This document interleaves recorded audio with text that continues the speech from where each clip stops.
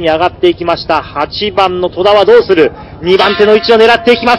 さあ、9番の有賀と並走か。しかしここは5番武田がペースを上げて、8番戸田は3番手に飛びつくような感じになった1番の清水と並走。4コーナーからホームストレッチ。間もなく残りが1周。5番の武田が先頭、2番手は9番の有賀。3番手8番の戸田が取り切った。4番手に下がった1番清水。後方からは3番の片折のまくりがやってくる。3番の片折が4番手から3番手に迫ってきて、2番手まで上がっていけるか、9番有賀がブロック。3番の片折は止まったか ?4 コーナーから直線。武田が先頭。番手から9番有賀が懸命に追う。5番の武田か武田か有賀か並んだ